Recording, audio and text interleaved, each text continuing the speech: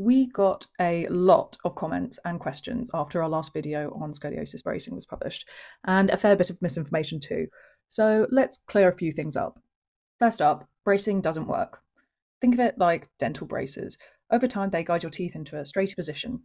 Scoliosis bracing works in a similar way. It gently and consistently guides your spine into a more natural alignment. And while it's true that scoliosis isn't always completely fixed, with the right bespoke brace, the curve can often be slowed, corrected, and even reversed as you grow, helping you avoid surgery. Bracing is a clinically proven method of treatment, and we published several research papers showing just how effective it can be. And if you're wondering what that looks like in real life, here you can see some of our patients' x rays before and after starting bracing treatment.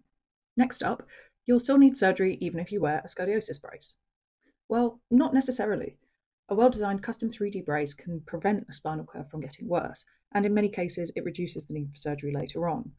Whether bracing alone is enough depends on a few key factors, like the patient's age, how severe their curve is, and how consistently they wear the brace during treatment. It's true that some larger curves, typically over 40 degrees, might still require surgery, but for many patients, bracing can stop progression in its tracks, and that often means avoiding surgery altogether. Braces only work for people with mild scoliosis. Bracing is actually very effective for people with moderate scoliosis curves, typically between 20 and 40 degrees, and all the patients we've treated with these curves have seen excellent results.